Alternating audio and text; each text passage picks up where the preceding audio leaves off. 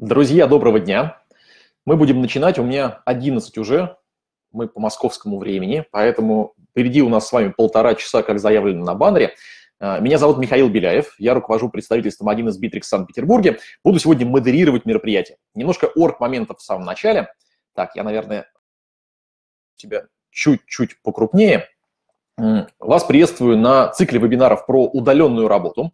Мы э, под разными углами смотрим, как бизнес работает в удаленном формате. Смотрим, как общается команда, как работают бизнес-процессы внутри, как построены продажи, каким образом мы можем их увеличить или как-то на них повлиять. Сегодняшний четвертый из э, цикла из пяти вебинаров, четвертый шаг посвящен старым клиентам ну, что такое старый клиент, клиенты, которые когда-то у нас покупали, что-то мы про них знаем, и мы смотрим сегодня в течение полутора часов ближайших, посмотрим, что с ними можно сделать. Мы посмотрим с двух сторон. У нас сегодня два спикера, которые будут говорить с точки зрения маркетинга, что логически можно сделать со своей аудиторией, со своей базой, как к ней прийти, по какому поводу, что ей сказать и конкретно в словах, что пообещать, каким образом обработать.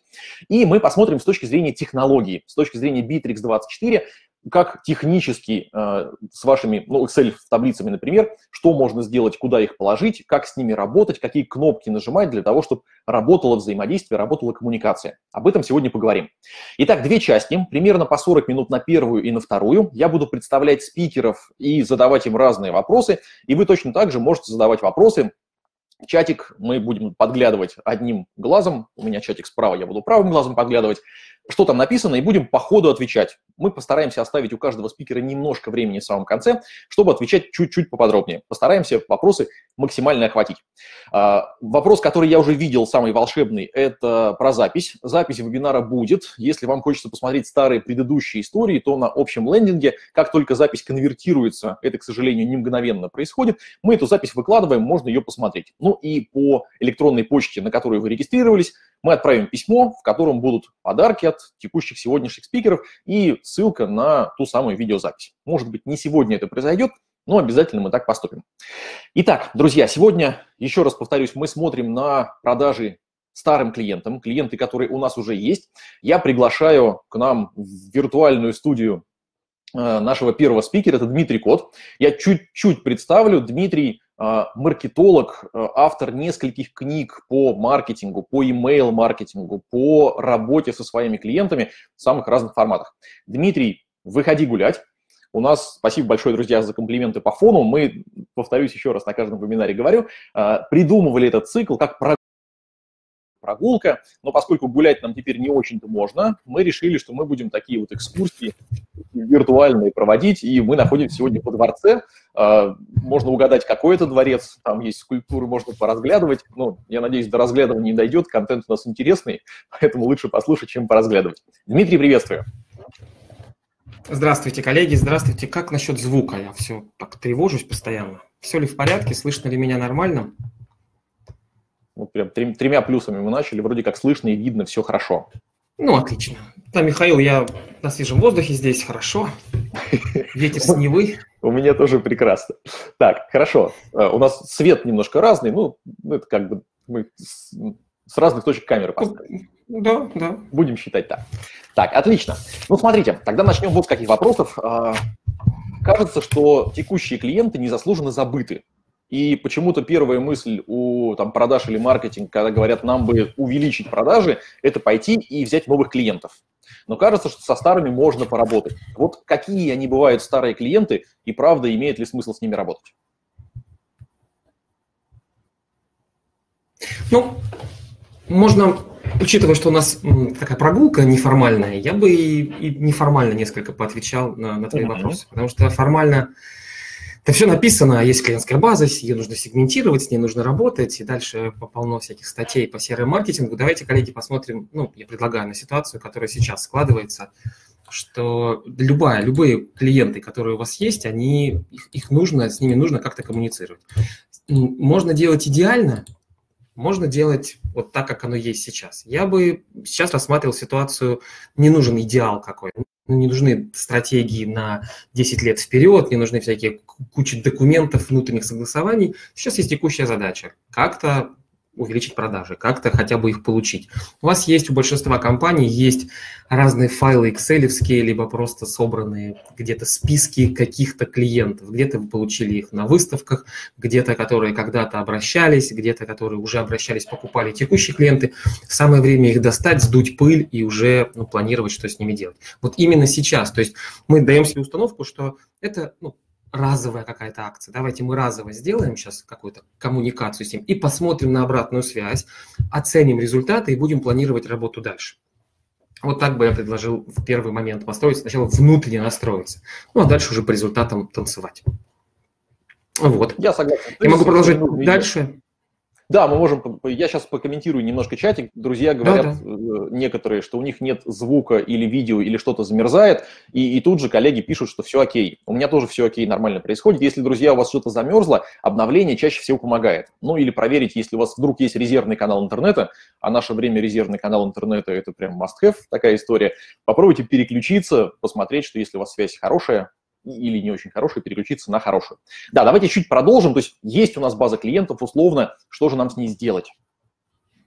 Ну, сначала, ну, во-первых, достать ее, во-вторых, вспомнить, откуда у нас она получена, чтобы был повод какой-то обратиться дальше. То есть мы чуть дальше будем разговаривать о том, что в этом нашем сообщении, которое может, которое может быть смс-сообщение, голосовое сообщение, письмо, рассылка в мессенджерах, все что угодно, важное первое начало, то самое первое, первое предложение, чтобы клиент вспомнил, откуда, откуда вы его знаете. Вот для этого нужно вам самим сначала вспомнить, откуда вы его знаете, пометить эти базы. Затем вопрос сегментирования, но я так понимаю, что это будет э, Георгий рассказывать, да, про сегментирование. Мы про технические Поэтому... вопросы сегментирования, как это там технически разделить, поговорим, а сейчас логически, да, откуда, том, первый сегмент, откуда мы знаем людей, да. Второе имя, хорошо, как если вы знаете его имя, это просто замечательно. Третье, ну, столбец, назовем это группа, сегмент, это событие, которое связано с клиентом, по которым он вспомнит. Потому что есть база клиентов, безусловно, вот таких горящих, свежих, с которыми вы общались недавно, выполняли их заказы, доставляли им что-то.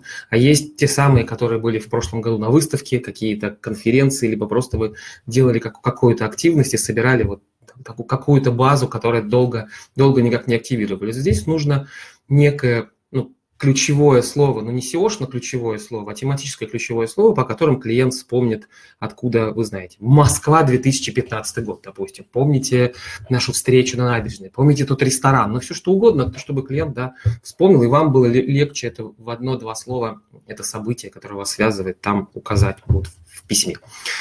Отдельно я бы отмечал клиенты, существующие, с которыми вы работаете, клиенты разовые, клиенты не разовые, а постоянные, которые делают больше одного заказа, и не клиенты совсем.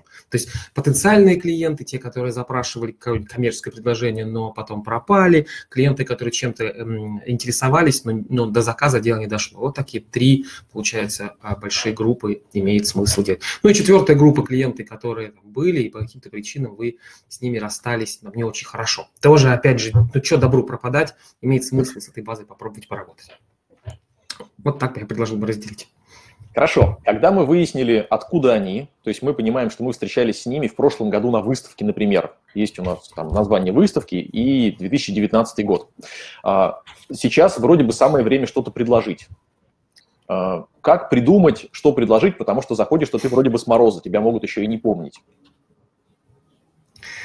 Ну, тот этот самый мороз, отличная, кстати, Михаил, метафора. Мороз, он начинается изнутри, из, из компании, он не в клиентах. И те ситуации, которые, ну, я на тренингах слышу возражения, общаясь там, с заказчиками. Основное возражение – это внутренний страх. Это даже до, до рассылок дело не доходит обычно. Потому что есть, а, а вдруг что-то, и дальше вот после «а вдруг что-то» появляется множество каких-то версий. А вдруг они обидятся, а вдруг они не поймут, а вдруг они подумают, что я хочу им что-то продавать. Да ну, это же, ну и, и, и много каких-то опасений, которые сейчас в текущих реалиях, они абсолютно иррациональны. Я бы вот так поступил. То есть есть не бояться, вы хуже своему бизнесу не сделаете. А если этот страх все еще силен, да, ну, несмотря на, на мои магические э, заклинания и пасы, то взять ту базу, которая, с которой вы хуже ничего не сделать. Это те самые пропавшие клиенты, либо те потенциальные клиенты, которые делали запросы и никак больше себя не проявляли, такие ну, неактивные, спящие клиенты. Отработать подход на них. То есть э, это прежде всего поможет вам внутренне измениться, да, изменить свой настрой, раз. Во-вторых, отработать технологию взаимодействия с ним, понять, ну, такой тест будет, да, тест, ну, тест на реальных, на реальных клиентах, на реальных событиях. Понять, какие выплывают подводные что больше реагирует, на что меньше реагирует, и дальше уже этот подход тиражировать на разовых клиентов и на самых драгоценных постоянных клиентов, э, если, ну, если захотите. Но я бы настоятельно рекомендовал захотеть и это сделать. Вот это второй шаг, да, просто принять, что нужно что-то делать. Сами они о вас не вспомнят. Затем шаг следующий, это имеет смысл определиться, что же вы будете им предлагать. То есть, э, почему вы им... Ну, то есть, такая подготовка, да, идет. Что мы можем им предлагать? Можем предлагать им что-то свое, то, что у вас еще есть в, в каталоге, в предложении. Можем, ну тут, тут подходов тьма есть. Есть идеальный подход, это когда вы сегментируете базу, и примерно в этой, в этой базе указаны характеристики, указаны, чем именно клиент интересовался, либо что именно клиент покупал, и мы предлагаем им так называемый upsell, то есть дополнительный продукт, либо дополнительная услуга, которые могут быть им полезны. Человек покупал у вас э, микрофон, вы ему предлагаете протирку для микрофона. Человек покупал мышку, вы ему предлагаете там, адаптер для мышки, либо что-нибудь еще. Такой обработать базу. Если есть такая информация. Если такой информации нет, то ну, просто в вашем сообщении предложить вернуться на сайт, зайти на сайт, посмотреть самому и выбрать. Конечно, важно понимать следующее, что каждая неопределенное действие, то есть когда мы перекладываем какую-то активность на нашего клиента, это снижает эффективность. Типа, пойди на мой сайт и сам выбери, что тебе надо, ну, сами понимаете, да, сколько человек пойдет, а сколько не пойдет. Поэтому идеальная ситуация – это четко под каждый сегмент разработать свой офер, то есть предложить товар либо услугу, которую, которая отлично ложится либо под историю покупок клиента, либо в текущую ситуацию для него. Раз. Во-вторых, разработать спецпредложение. Два. Ну, какое-нибудь ценовое предложение, комплект чего-то с какими-то дополнительными услугами, с чем-то еще. И дальше уже планировать рассылку. Если нет, опять же, повторюсь, если нет, и на этом этапе вы понимаете, что усилий много придется совершить, и нужно эту базу разбирать, обрабатывать, все истории заказа делать, ну, ну тогда мы выключаем режим перфекциониста и делаем хоть что-то, да, как-то базу нашу шевелим, э, оживляем. Единственный момент, который вот сейчас я бы предо... ну, предостерег бы, либо попросил бы быть чуть более осторожными. Всякие игры со словами антикризис, антикоронавирус, антипандемик и что-нибудь такое. Если у вас не медицинские товары, не медицинские продукты, то все это вот на уровне такого обывательского, это уже достало. То есть супер предложение по доставке антикорона пицца, антикорона суши, антикорона шаверма. Остановитесь. Да? Ну, сейчас, более того, ситуация не самая радостная, и поэтому любое такое упоминание, оно ну, больше травмирует как-то как вот возбуждает какие-то страха, области, паники, чего-то, нежели даже если вы это шутите. Просто дружеская коммуникация под любым поводом с названием «У меня для вас предложение, посмотрите, посмотрите, что я для вас нового приготовил», без этих игр и заигрываний с эпидемией. Вот, продолжать дальше? Там какие-то вопросы могут быть? Да, так, я вопросы немножко смотрю, подглядываю. Пока, по сути, ничего, чтобы мы могли взять себе поотвечать. Угу, хорошо. Тогда шаг следующий. А, планируем, ну, в каком именно канале мы будем с клиентами общаться, да, как мы будем появляться в их жизни через мессенджеры, через электронную почту, там, в виде смс, в виде звонка, в виде голосового сообщения. И здесь сама структура сообщения, она будет одной и той же. Сейчас я об этом поговорю. Важно просто помнить, что у нас есть начало нашего сообщения, которое мы должны заинтересовать и напомнить человека. Есть ядро текста, либо ядро сообщения. Это цент, ну, что мы предлагаем им, и подталкиваем к действию. Дальше, если это письмо, то здесь объем текста у нас вполне там, тысяча, полторы тысячи знаков, вполне допустимый, вполне нормально. Полторы тысячи знаков – это примерно 3-4 абзаца. И уложитесь в меньший объем – супер. Уложитесь в больше – лучше немножко подсократить, подредактировать.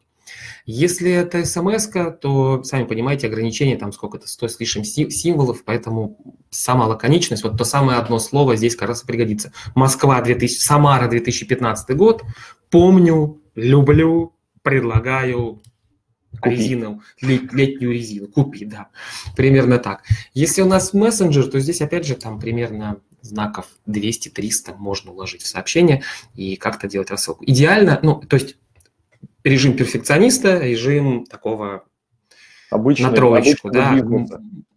Да, маркетолога на троечку. Если режим перфекциониста, то я продумываю дальше цепочку сообщений, цепочку, как я буду дальше с ним общаться. Если он не ответит на мое первое послание, что я буду с ним делать? Если он ответит, что я буду делать, ответит мне не надо, допустим, у вас дорого. Ну, то есть просчитать немножко те самые базовые возражения и базовое поведение, которое может, может как-то клиент ну, вести себя.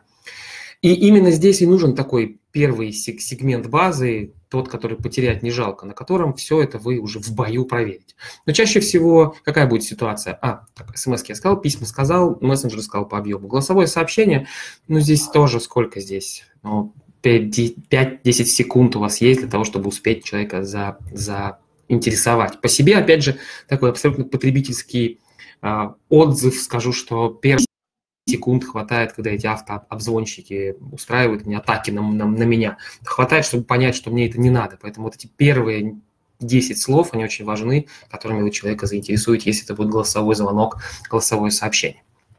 Дальше стратегию прикидываю. Следующий момент – понять, то самое, как я буду себя вести и что делать. То есть в процентах 10, 10 примерно, да, идеальная ситуация, это если 10% неактивных ваших подписчиков, читателей, клиентов откликнутся, и вы с ними будете как-то работать. Соответственно, процентов 90 базы, особенно той самой нашей тестовой, ну, в кавычках, мертвой, они на первое сообщение никак не ответят. К этому надо быть готовым, и это не повод останавливаться. То есть базовые рекомендации – это минимум три касания делать с интервалом там 1-2 дня. А, и тут в эти мгновения просыпается страх, боже мой, я же им, ну и дальше все зависит от того, насколько вас, вас ваш потребительский опыт богатый и тревожный. А забудьте об этом, расслабьтесь. Продолжайте в том же духе, оценивать результаты будут, будем по, по итогам этой серии. Делаем минимум три, такого три касания. Они могут быть такими же по смыслу повторяться, то есть Москва, Самара, 2015 год, купи летнюю резину, Самара, купи летнюю резину, Самара, купи летнюю резину. Либо как-то меняться в зависимости от, ну, скидка может увеличиваться, другое предложение может быть идти, может э, играем на эмоции. Повторять или менять? Лучше менять. Лучше, конечно, менять и менять а, через призму заботы, да, что я отправлял вам вчера сообщение, письмо, вы не ответили, все ли в порядке, там, может быть, не дошло, опять же, повторюсь, мы все такие письма получали. Мы все, как маркетологи, как предприниматели, мы все понимаем, что за этим стоят как там, активность, за этим стоит продажа, за этим стоит какой-то коммерческий интерес. Ну хорошо, ну и что? Ну то есть вы когда по улице идете, вы видите рекламу, которая висит, ну вас же она там не бесит, вы просто ее либо на нее реагируете, потому что она для вас актуальна, летняя резина, пора менять резину. Либо она не актуальна, у вас нет автомобиля, вы проходите мимо. То же самое будет и с вашими сообщениями. Никакие лучи ненависти в ваш адрес ну, не полетят в массовом, в массовом порядке. Поэтому нужно здесь расслабиться и как-то менять. Есть изменения, ну, такие, опять же, классические рекомендации. Это когда в течение серии мы как-то какие-то параметры нашего предложения меняем. Например, в третьем письме мы можем скидку увеличить, когда человек на первое письмо наше не ответил, мы второе сообщение ему высылаем там, через 2-3 дня, либо через 5 дней, через неделю. Потом третье письмо, и в третьем письме мы говорим, ну, у меня почти закончился товар на складе, мне нужно его срочно очистить, поэтому для вас скидка увеличивается там в два раза, допустим. Только в конце, в самом конце мы это делаем. Либо это может быть там время, срок, потому что до конца моего предложения что-то осталось. Некие ограничения, сами ограничения, сами по себе, они работают очень хорошо. Просто многие маркетологи их испортили именно жесткостью своей. Только сейчас, срочно, торопись, я требую, чтобы ты прямо сейчас пошел и купил. Не надо этой агрессии. Да, мы сейчас про стиль общения будем чуть дальше говорить. Здесь важно, что то же самое ограничение вы можете в тексте в вашем сообщении сказать более нежнее. Уважаемый Иван Иванович, обратите, пожалуйста, внимание, что это предложение действует всего 5 дней, потому что затем в нашем городе объявят что-нибудь, да, или затем я уезжаю, либо я ухожу там куда-то на дачу, уезжаю картошку копать, и поэтому я уже не смогу обработать ваш заказ. Все. То есть это агрессии как таковой маркетингового давления, которое очень сильно вымораживает, нет, а суть сообщения вы сообщили. Отсюда уже можно как-то дальше дальше отталкиваться, говорить, что даты заканчиваются, размеры уходят и что-нибудь такое. То есть какие-то параметры менять, да, либо в этих сообщениях, опять же, ну, в, в следующих после первого, втором и в третьем мы можем информировать клиента о ходе а, э, этой акции, о ходе развития этой ситуации. Серия «Я вчера вам высылал приглашение, предложение, обращаю ваше внимание, что сегодня закончились уже там, ботинки 43 размера, их уже нет. Остались 45 и 42 вот их там фотографии, посмотрите, возможно, вас это заинтересует. В следующем письме опять же пишу, что уже и этого нет, остались только там шнурки, мышки, что-нибудь еще. То есть вот такой тоже есть подход, когда мы рассказываем о развитии, о развитии ситуации. То есть если подвести итог, то планируем не а, мысленно внутренняя установка для себя, а затем это все уже на бумагу ложится, что это будет не одно касание, а минимум три касания. А, просчитываем, как я буду вести с теми, кто, кто от, откликнулся, и с теми, кто не откликнулся. С теми, кто не откликнулся, я планирую дальше не одно касание, а три. С теми, кто откликнулся, есть два варианта отклика, позитивный и негативный. Позитивный, да, мне интересно, вышлите, да, давайте обсуждать, вы с ними общаетесь по поводу продаж. Негативный – это может быть негативный «горите в аду», пропадите вы пропадом, мародеры разные. Хорошо, мы их не замечаем, все окей, там, ну, не бывает. Таких будет, да, и таких, таких будет минимум. То есть их все боятся, но это будет, ну, одна сотая вашей базы, одна тысячная вашей базы. Да какая одна сотая? Одна там миллионная вашей базы. То есть одно такое письмо из там, 10 тысяч вы сможете получить. Да, да, но это, но это всего лишь исключение, как таких людей фриков и на улице полно, что же из этого на улицу не выходить. А, а затем будут какие-то, по каким-то сообщениям вы сможете понять, что ну, человек не, не проклинает вас, да, скажем так откровенно. Он там говорит, там нет денег, нет времени, не сейчас, допустим. Да, здесь, здесь важно по таким сообщениям додумать, да, есть такой подход в психологии, в, вообще по жизни, в жизненной коммуникации, продумать о намерениях, что же именно, что же именно вы имели в виду на самом деле. Ну, называется чтение мыслей, да, когда мы говорим, я, и когда вы получаете такое некое непонятное, неразвернутое сообщение от клиента, но видно, что он не сильно против, я бы потанцевала с вами корнет, но шампанского вот нет, вот знаете, из этой серии. Поэтому в такой ситуации мы вполне нормально следующее письмо, следующее касание, в котором вы спрашиваете, правильно ли я вас понимаю, что там сейчас бюджет есть, но его нужно согласовать. Либо правильно я понимаю, что бюджет в принципе выделен, но нужно обосновать его а, рациональность траты перед руководством. Правильно ли я понимаю, что таких вариантов может быть 2-3 на выбор клиента? Ну, то есть, чем мы руководствуемся и почему мы так себя ведем? Потому что а, это холодная рассылка, особенно если мы говорим, что эта база такая более, более мертвая, чем живая, которую давно вы не использовали, раз. И люди на вас реагируют как на холодную рассылку, и поэтому много и сильно объяснять свою позицию они не, не хотят, потому что это как общение с роботом, да, с неким голосовым меню, когда вы сотовому оператору звоните, вы что, не общаетесь с ним, просто кнопки нажимаете. Вот именно так это и будет. Поэтому, если вы заинтересованы в этой сделке, в этой активности, то инициатива должна идти от вас. Правильно ли я понимаю? И дальше вот один из подходов. Ну, второй подход уже от того, что, что вам клиент написал, тоже можно будет как-то там развивать общение. Я чуть-чуть добавлю здесь. Да, конечно. Есть э, письма-ответы, когда человек все-таки прочитал письмо и ответил вам, там, он вас любит, не любит, и в какой степени это происходит, или почему он у вас не купит.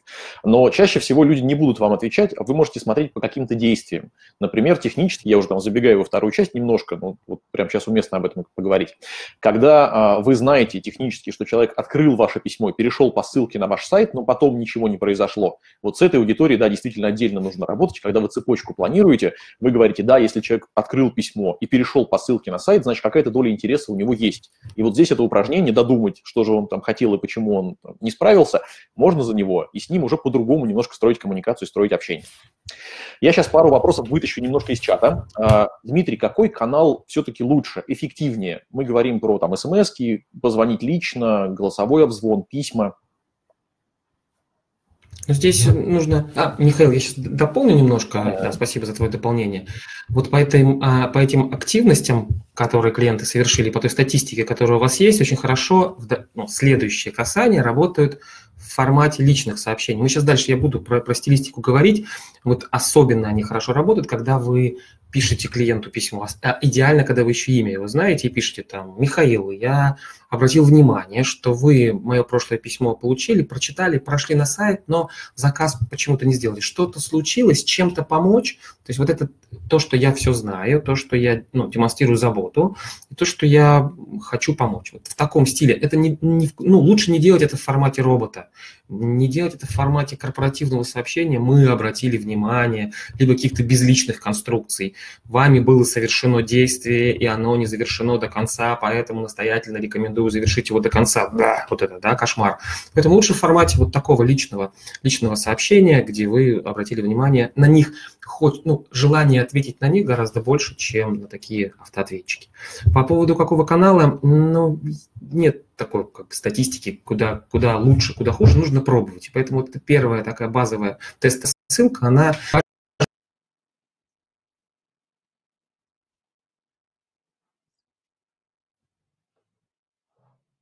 такого из поколения, email поколения. Да? Сейчас, опять же, это от возраста. Если дальше продолжать твой вопрос, то это от возраста очень сильно зависит от нашей аудитории. Если она такого среднего возраста, то я предположу, что скорее email.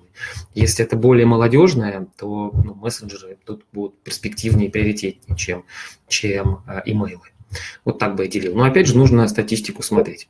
И здесь я увидел вопрос, ну, да, Михаил, пожалуйста, посмотри в чате. Я здесь краем глаза увидел вопрос про законность. Я хотел бы немножко Есть, тоже да. о, о нем поговорить. А все ли, ты меня нормально слышишь, все ли в порядке? У меня пару раз прерывалось, но вот в целом все окей. Да, спасибо, коллеги, спасибо за ваши вопросы. Ну, смотрите, безусловно, вопрос законности, он, он, он, он имеет место быть. Да, все эти законы о рекламе и, прочее, прочее, да. Ну, вот есть, знаете, как есть езда по дороге, управлять автомобилем по правилам, есть там по жизни. Всегда где-то можно пропустить, фарами там мигнуть, да, дальним светом, по, уступить где-то, пропустить, и тебя, и вас пропустят. Вот то же самое и здесь. Если вы, ну, эти люди когда-то зарегистрировались у вас на сайте, и вы никак ни о чем их не предупреждали, ни о каком использовании персональных данных, и у вас там, маленький бизнес, небольшой бизнес, то вероятность получить какие-то там юридические последствия в дальнейшем, они минимальны, они сводятся ну, к нулю. Да, если у вас крупный бизнес, особенно какой-нибудь банк, либо особенно какая-нибудь там корпорация, то, безусловно, найдутся люди, которые захотят на этом ну, поживиться, да, и будут там обращения в ФАС и так далее. Но если вы малый и такой мало-средний бизнес, то ну, не стоит uh-huh. опасаться каких-то санкций вот сейчас со стороны. Опять же, повторюсь, если эта база собрана вами, но как-то там на сайте, но как-то не предупредили, вы не было галочки о том, что это персональные данные и так далее, и так далее. Если эта база куплена вами в переходе, пока вы выскочили сейчас выносить мусор и приобрели базу, то знаете, что, опять же, тоже по большому счету каких-то санкций лютых не будет, но она, рассылка по ней будет неэффективна, потому что это такая мертвая база. Uh-huh.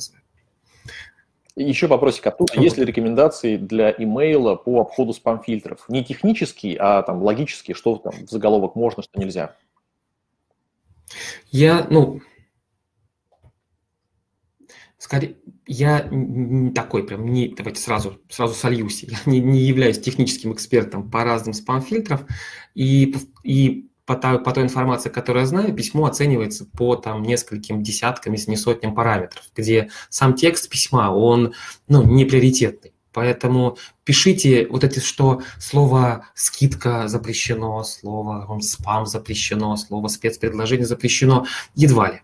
То есть попробуйте, опять же, для того, чтобы четко понять на вас, это будет распространяться или не будет распространяться, а, можно сделать некую тестовую рассылку по там, 10 там, процентам базы. Можно через ваш сервис рассылки, через тот инструмент, которым вы будете пользоваться, либо пользовались, от, отправить самому себе тестовые письма на три ящика. На Mail.ru, на Яндекс.ру, на, на, на, на Gmail. И посмотреть, в какую папку они попадут и как они попадут, и уже поэтому будет видно, получат мои, мои, мои получатели это письмо, либо нет. И тогда уже вопросы именно к техническому решению в большей степени, чем к заголовку. Вы можете поиграть с заголовком, можно посмотреть, как оно, но в большинстве ситуаций ни, ни, ничего это не изменится, потому что, повторюсь, параметров оценки письма на спам гораздо ага. больше, чем слово скидка в заголовке. Но если вот так для самоуспокоения, не, не упоминайте слово скидка, то и оно так по ним, оно уже выдаст рекламность вашего послания. Просто другие поводы, сейчас мы об этом а,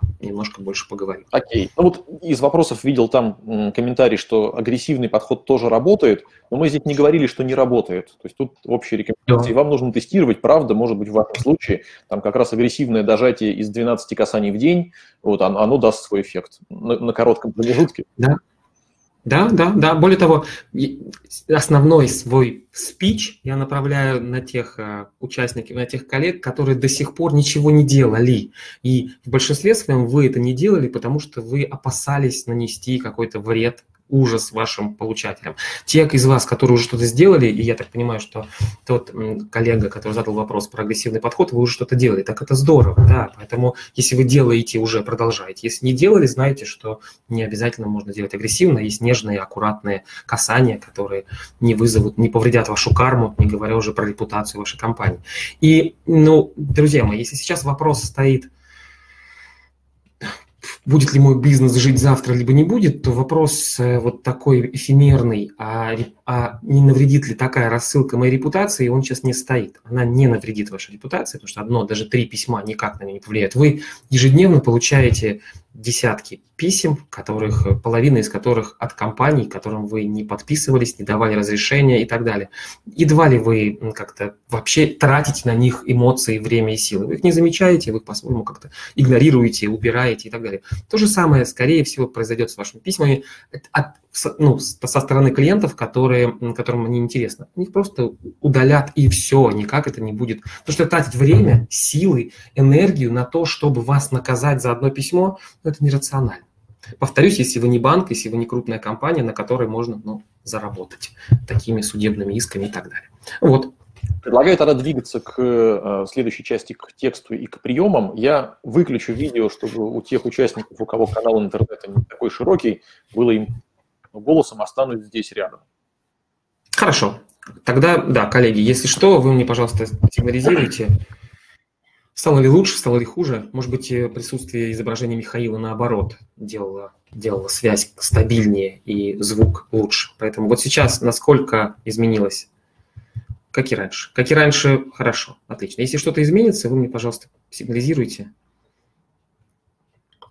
Тогда... Ну, у кого-то что-то поменялось в лучшую сторону, это прекрасно. Я думаю, надо идти дальше. Хорошо. Хорошо. Тогда давайте двигаться дальше. У нас есть а, поводы, с которыми мы можем обратиться к клиентам. У нас есть ну, копирайтинг, да, что нам нужно писать.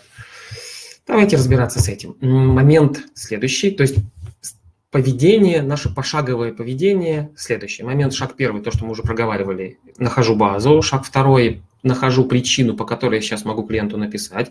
Шаг половина между первым и вторым, как-то попробовать ее сегментировать, эту базу по каким-то признакам, которые понятно. А, следующее, а, прикидываю, в каком канале я буду писать, да, в каком канале буду приоритетнее коммуницировать. Следующий момент, нахожу повод, да, по, по какому я могу взяться. Поводы есть разные. Простой – это напомнить прошлое наше с ним взаимодействие. Помните, вы интересовались, помните, вы обращались, помните, вы спрашивали. То есть, более того, ну, в, такой, в таком поставить а, контексте вопрос, то помните ли, чтобы человек вспомнил. Есть моменты, мы с вами общались ранее, я здесь хочу предложить вам что-то, да, момент второй, то есть мы рассматриваем такую ситуацию, что человек уже решил с нашей помощью, либо не с нашей помощью задачу, и мы предлагаем ему что-то, следующий, тот самый upsell, о котором мы говорили. Либо, либо если он ничего не покупал, то мы напоминаем и пытаемся наше общение с ним возобновить. Следующее, я сейчас открою презентацию и покажу список нескольких поводов, да, которые вам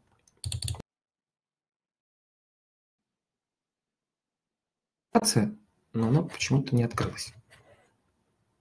Открылось, видим. Снова открылось, снова видим.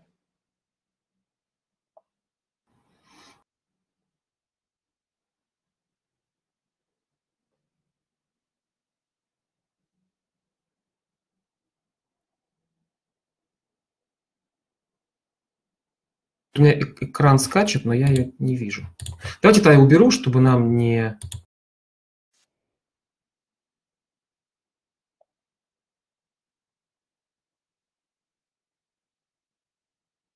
Так, презентация сломала звук и видео у Дмитрия, кажется, что. Ну, надо по слайдами по пощелкать будет, там не было слайдов. Ну, я... Первое, то, что я сказал, воспоминания. Помните, мы с вами а, с вами общались. Момент второй.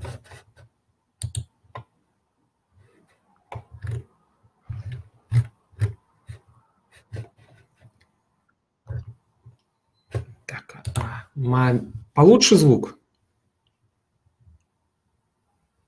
Да, презентацию вышли, все нормально, там в презентации как раз такие, та, та структура, которая есть, то, о чем мы говорим. Следующее, да, я, помните, мы с вами общались раз, мы можем предложить клиенту предупредить его о наступлении какого-то события, чего-то в его бизнесе, в его жизни, для которых наше предложение будет актуально. Праздник, текущая какая-то ситуация, либо что-то еще. То есть мы привязываем свое предложение к будущему нашего клиента. Но не просто говорим, вам в будущем пригодится, а, а наступает сезон полива картошки, наступает сезон посева тюльпанов, поэтому я предлагаю вам да, рассаду тюльпанов и так далее. То есть то, что клиентам будет актуально, и дальше отсюда танцуем. Следующий, например, повод – это, есть такой очень интересный подход, дисконтная программа с эффектом затухания, когда мы говорим клиенту, что у нас какая-то сейчас активность, какая-то сейчас акция, у вас есть там скидка либо на этот товар, на это предложение, либо на, на весь наш ассортимент, либо на какой-то определенный сегмент, и эта скидка составляет X процентов. Но обратите, пожалуйста, внимание, что каждую там, неделю, либо через каждые, каждые три дня она сокращается в два раза. Поэтому а, будьте, ну, будьте быстрее, будьте динамичнее, торопитесь. Там. Только не надо таких жестких слов, торопитесь, бегите скорее. То есть ну, знайте, что по, по условиям нашей распродажи, нашей акции, каждые три дня скидка уменьшается в два раза. И здесь у нас опять же появляется новый повод каждые три дня на протяжении там, двух недель писать такие легкие напоминалки клиенту о том, что Иван Иванович, обратите, пожалуйста, внимание, завтра скидка сократится в два раза, либо послезавтра скидка сократится в два раза и так далее, и так далее. Да? Накануне здорово об этом говорить. Такой есть повод. Есть повод Предупредить клиента, ну, этот подход хорошо работает, когда вы знаете историю покупок, когда вы знаете, а, что он уже покупал и когда он это покупал, что запас чего-то, того, что он у вас покупал, заканчивается. Либо запас, либо срок действия, либо годности продукта, жидкости какого-нибудь, там, срок действия сертификата заканчивается, то, что мы все получаем, когда нам страховая компания высылает срок действия, э, полиса заканчивается срок действия, домена заканчивается, продлите его и так далее. У вас, скорее всего, тоже есть такие продукты, товары, у которых срок действия может заканчиваться, либо его количество заканчивается. Хорошо это работает с теми клиентами, у которых покупали регулярно, и вы примерно можете просчитать, что клиент покупал у вас питьевую воду раз в неделю, а сейчас вдруг пропал. И самое время напомнить и сказать, как, как же вы без воды, там, Иван Иванович и так далее. Момент следующий мы можем предложить клиенту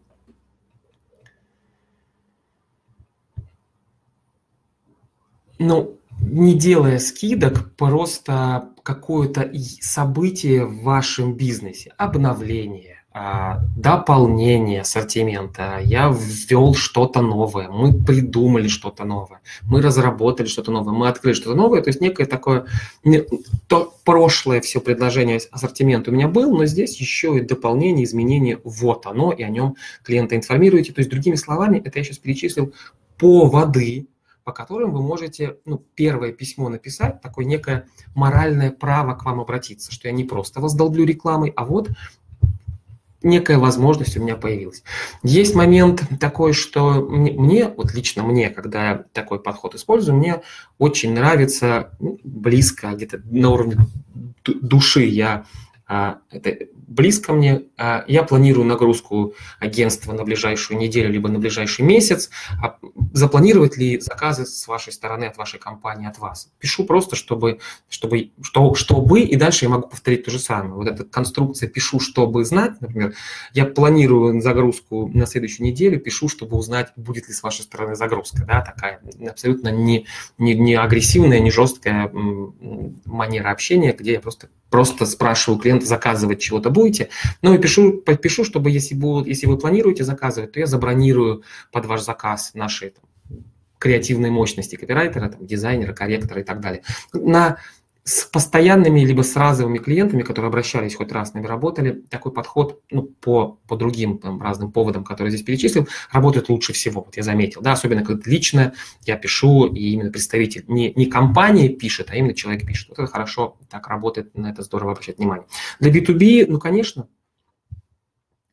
одним словом, повод, ну, безусловно, коллеги, повторюсь, мы сейчас рассматриваем ситуацию, что вы ничего не делали, у вас есть потребность в заказах, и нужно хоть откуда-то эти заказы получить. Можно вливать тонны денег в контекст, в таргет и так далее. Можно использовать те ресурсы, которые у вас есть, и не сомневаться, не бояться, а делать, а потом уже делать какие-то выводы. Следующий момент – само стиль, стиль сообщения, стиль послания. Вот неважно, как, какие, какие раньше вы делали послания, письма, как вы коммуницировали с клиентом. Сейчас меняет ситуация за окном, изменится и вам. Поэтому лучше и настоятельно вам рекомендую, чтобы письмо было написано в личном стиле от какого-то значимого, заметного представителя компании, либо от того человека, с которым клиент работал раньше. Если это менеджер, то здравствуйте, Иван Иванович, я Лариса, помните, вы два года назад интересовались и бла-бла-бла-бла-бла-бла. Если он ни с кем у вас не общался, то здравствуйте, меня зовут, и ну, от от весомого, от значимого человека. Директор, заместитель, исполнительный и так далее, и так далее. То есть чем меньше должность э, человека в компании, тем реакция на него, ну, как правило, она чуть слабее. Поэтому с большим уважением здорово, приятно получать письма от неких руководителей. Вы можете этого руководителя придумать, этого героя придумать, но здесь не, сейчас не место всяким шуточным штукам. Привет, меня зовут Лисенок Петр, и я хочу предложить тебе, не надо вот этого всего, если у нас только не детская аудитория. Ну, просто здравствуйте, меня зовут Иван Затевахин, я исполнительный директор компании Затевахин сыновья, и я подумал, а не предложить ли вам что-то. Вот такой момент, да, личное письмо, когда личное, личное письмо может быть, а, ну, вам будет легче его писать. Вам легче его писать, потому что когда ты вживаешься в образ компании, то от «мы» очень сложно писать. Мы хотим, мы хотели бы, мы предлагаем. Ну, в общем, мысли теряются, особенно если вы не профессиональный автор, не, не копирайтер. Поэтому от себя четко понимаю, что предлагаю. Три части у сообщения. А сколько времени у меня еще есть, Михаил? Скажи, пожалуйста. А у нас минут 5-6 осталось. Отлично. Тогда как раз вот на, на копирайтинг э, остается. Конечно, хотели бы лучше не писать, безусловно, вы здесь совершенно правы. То есть всякие «бы», всякие неуверенности, всякие «можно», «могли бы», э, «надумали бы» и так далее, все это убираем. Дальше следующая сама структура письма, начало, э, приветствие. То есть заголовок с именем клиента лучше не использовать. Да, этот прием рекомендуют классики маркетинга, классики жанра, но в Рунете за последние там, порядка двух, трех, пяти лет очень сильно выжжено это поле, когда я получаю письмо с именем в теме своим «Дмитрий, вы забыли это у нас». Я понимаю, что там понятно, что забыл, скидку, распродажу, что-то еще, такое, это уже первый триггер, первый сигнал, что это письмо рекламное. Поэтому я бы, ну, потестируйте, проверьте, ну, я в последнее время такое не использую. Имя лучше в приветствии поставить. Заголовок сделать как рекламный заголовок э, по, по разным по, по приемам написания заголовков, которых очень много в интернете. Посмотрите, чтобы я времени сейчас не терял, а на самые значимые моменты обратил внимание. Поэтому, если вы имя знаете, то тогда начинается наше сообщение, письмо, либо там рассылка в мессенджерах с приветствия по имени «Здравствуйте, Иван Иванович». Если вы имени не знаете, тогда и приветствие здесь приветствием можно пожертвовать, потому что это одна строчка, целая строчка, которая, которая клиент, ну, съедает объем письма. Поэтому сразу начинаем с сути предложения, с той самой фразы «Помните, мы с вами встречались на набережной в Самаре в 2015 году» и пошло-пошло. То есть первая фраза – это предложение порядка 6-8 слов, а, в котором вы напоминаете прошлую историю коммуникации. Если вы написали текст и видите, что это первое предложение большое, большое, больше шести слов, больше одной строчки, тогда добавляем маленькое, короткое предложение в самое начало. Короткое – это одно-два слова, и здорово, чтобы оно было направлено на читателя. Помните, знакомо вам, а, сомневались, забыли, ну, такое вопросительное, там, с глаголом очень хорошо так вот тормозит внимание, ну, и дальше тут тот самый повод называете. Затем, а, после этого первого предложения, в котором вы напоминаете историю, историю общения, историю коммуникации, вы называете уже суть моего предложения. У нас обновление ассортимента, у нас распродажа, у нас акция, скидка, ну, то, о чем я говорил. И обращайтесь к клиенту, здесь рассмотрите возможность, оцените возможность, закажите и так далее. В этом, ну, то, что называется ядром письма, ядром сообщения, либо оффером в разных разных терминологиях по-разному. Самая частая ошибка – это «мы подход», когда пишут «мы предлагаем вам купить, мы разработали и мы предлагаем вам, поэтому там, где есть возможность, это уже на этапе вычетки письма хорошо работает, если вы не профессиональный автор. Мы на вы. То есть не мы предлагаем, вы рассмотрите. Мы сделали, вы купите. То есть там, где мы какую-то активность делали, что-то руками, как-то разрабатывали, мы себя оставляем. Я тут подумал и предлагаю вам рассмотреть. Рассмотрите, пожалуйста, выберите, пожалуйста, оцените, пожалуйста. Там какие-то действия, и дальше стараемся больше на вы. Вы получите, вам для вашего удобства, выгоды стараемся вы, вы в таком ключе писать. А, стараемся там, где, если это письмо, и у нас позволяет объем, те самые полторы тысячи знаков, несколько абзацев, там, где мы кроме самого предложения акционного еще указываете выгоды, указываете особенности, конкурентное преимущество вашего предложения, а здорово, чтобы оно было в нем, тогда помните, что стараемся их конкретизировать. Самая вторая по частоте ошибка – это лаконично, ну, потому что много же нельзя писать, закрываются люди прилагательными наречиями. Сотрудничать с нами выгодно, удобно, безопасно. Это ни о чем не говорит, да, если это, это и раньше ни о чем не говорило, сейчас тем более. Поэтому старайтесь, что такое выгодно, четкая конкретика, пусть это будет еще 2-3 предложения. Пусть вам будет казаться, что, боже, это получится гигантское письмо, аж три абзаца, но эта конкретика работает лучше, чем ни, ни о чем не говорящие слова быстро, удобно, качественно, недорого. Конкретику давайте, цифры, факты, примеры, детали. Быстро доставляем в течение двух дней. Качественно тройная проверка заказа на стадии сборки, и курьер, привозя его, перед вами еще раз тестирует и сдает вам уже полностью готовый прибор. Недорого а, наши цены в среднем на 20% ниже по рынку, и сейчас еще есть отдельное ценовое предложение, еще там минус 20%. Цифры. Во-первых, цифры сообщают суть, во-вторых, цифры цепляют внимание сильнее. Мы понимаем, что мы делаем холодную рассылку, мы понимаем, что его будут читать краем глаза, поэтому цифры, как и имя, если оно у нас есть получатель, это те самые крючочки, которые, которые цепляют глаз. То самое ядро написали. Здесь не надо вы, выдавливать из себя по капле копирайтера. Пишите в режиме «я пишу приятелю» я пишу другу, поэтому личная коммуникация, письмо от себя, вам легче будет на него настроиться, раз, и пишите так, как вы писали всегда, здесь не надо переключаться в другой режим, э, вот просто в режиме Ивана Ивановича вас пишите. Все у вас получится, этот стиль будет живым, просто нужно будет добавить цифры. Концовка, призыв к действию, опять же, большинство, самая частая ошибка не профессионалов, то есть не копирайтеров, не маркетологов, клише из рекламной, из самой жесткой рекламы телемагазина. Срочно прямо сейчас покупайте.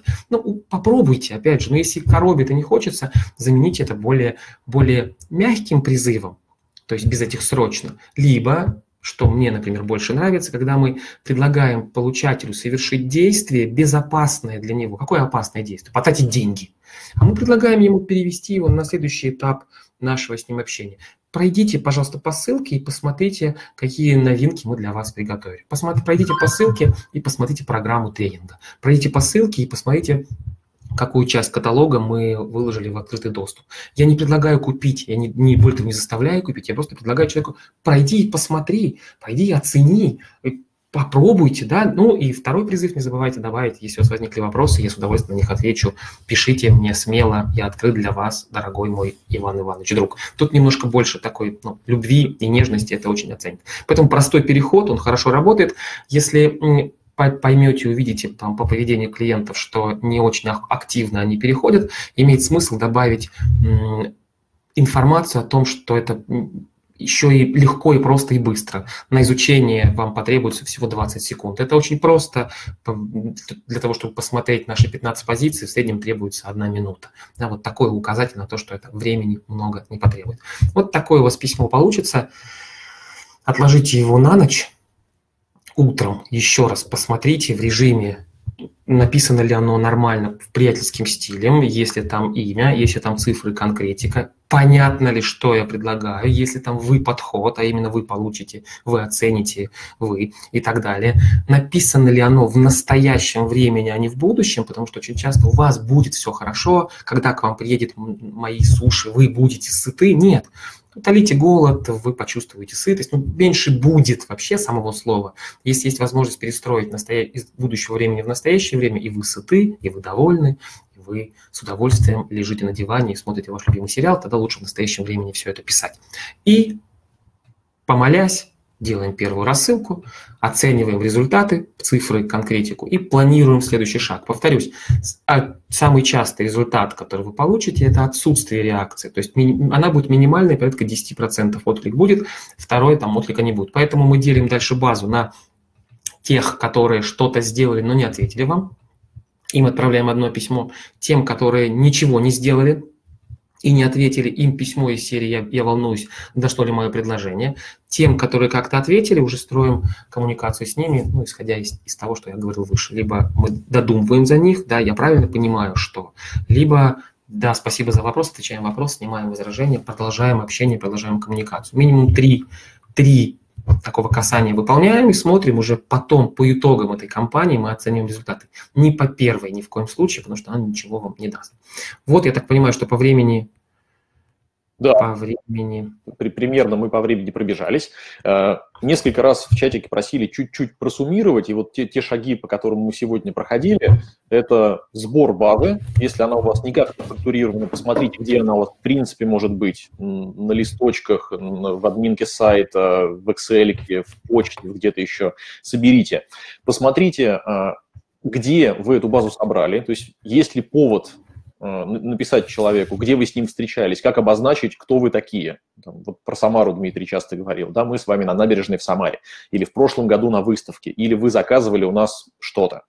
А, сформулируйте цепочку, вот про цепочку еще раз очень важный акцент поставлю здесь, что это не единственная рассылка там, письмом или смс или там, по какому-то другому каналу, это вами продуманная заранее серия, когда вы говорите, вот моя база из там, 100 клиентов, я им отправлю сначала вот это сообщение, потом база поделится на тех, кто отреагировал, не отреагировал, этим я отправлю одно, этим второе. Вот этот цикл сначала у себя нарисуйте на листочке условном, да, и потом опишите.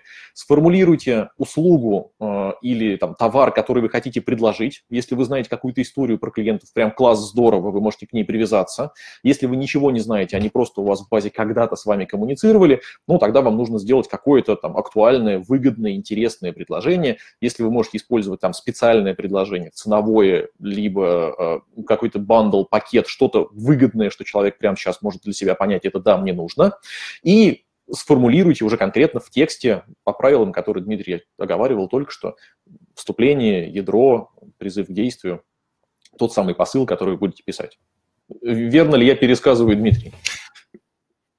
Да, Михаил, спасибо большое, все супер. У меня единственный такой момент дополнения. Я здесь в чатике краем глаза увидел э, комментарий, что это азбука. Ну, прежде всего, мы ориентируемся, да, такие советы, которые не уникальны, и некоторые из вас могли их знать.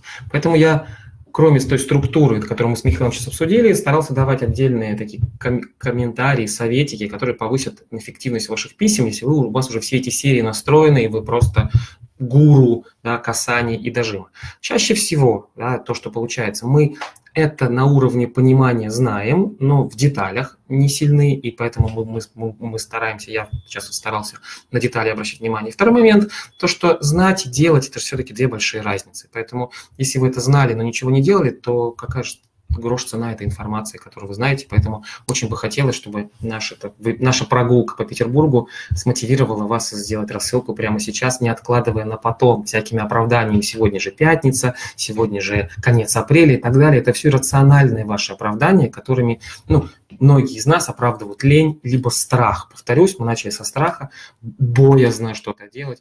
И ерунда, что завтра суббота, нужно сделать это прямо сейчас завтра не будет возможности. Ну, потому что, что отправить лень, опять, да.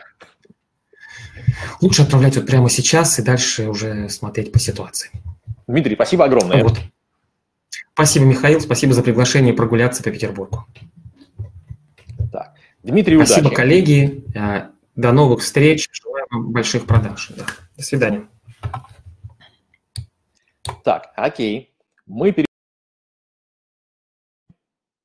сегодняшнего вебинара, будем смотреть теперь, как то, что э, Дмитрий порекомендовал, облечь в э, Bittrex24, в систему, как это настроить, посмотрим на интерфейсы.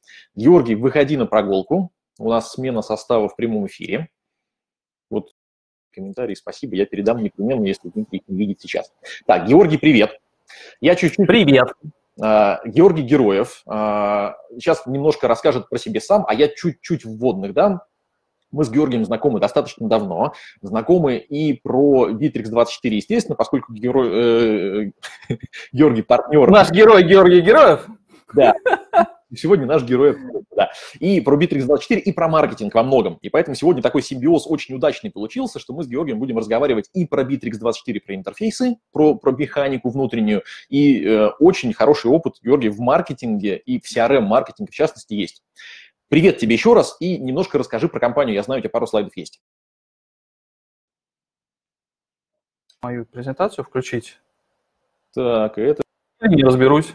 Да, твою мы сейчас... Ты включаешь? Я бросил уже презентацию, ее, скорее всего, видно. Так, и вот, кажется, что она. О, а я не знаю, видно, не видно? Друзья, скажите мне. Так, друзья говорят, видно. А, там же Все, на видно. слайде off group, я... правильно? Угу. Да, да, да, да, да. Я сильно много времени тратить на это не буду. Просто два слова буквально скажу, кто мы, чем мы занимаемся. А, на самом деле, off group э, образовалась буквально в конце 2019 года образовалась из двух компаний. Мы появились. Это маркетинговая группа Маткофер и веб-студия Дудеров. Так, где мы? Медленно у меня перелистываются. Не понимаю я. Видим второй слайд, да. Да? А я не вижу. Видимо, как у Дмитрия, та же самая штука. Вы видите, я не вижу. А, вот, а, собственно, нам удалось совместить две классных штуки. То есть Маткофер это был всегда, в общем, больше про смыслы. Это про бизнес-консалтинг, это про маркетинг, про автоматизацию маркетинга продаж. А компания Дудеров э, – это веб-студия, где прям айтишники, прям вот ребята-программисты. Вот, и нам удалось вот эти две штуки классно совместить. Очень часто приходилось, не часто, но приходилось слышать от клиентов такую штуку, что а, там приходит IT-интегратор, ребята классные, все могут сделать, все могут запрограммировать, там могут написать приложение, но со смыслами помочь не могут. В этом смысле мы можем помочь и со смыслами. Вот, я, наверное, тут немножко наших участий во всяких разных мероприятиях. Там наши четыре основных продукта, которые мы сейчас э, реализуем, это автоматизация бизнеса, это разработка сайтов мобильных приложений, в том числе приложений для Bittrex24. Это настройка сквозной аналитики и онлайн-продвижение. А, немножко наших клиентов, с кем мы работали и продолжаем работать.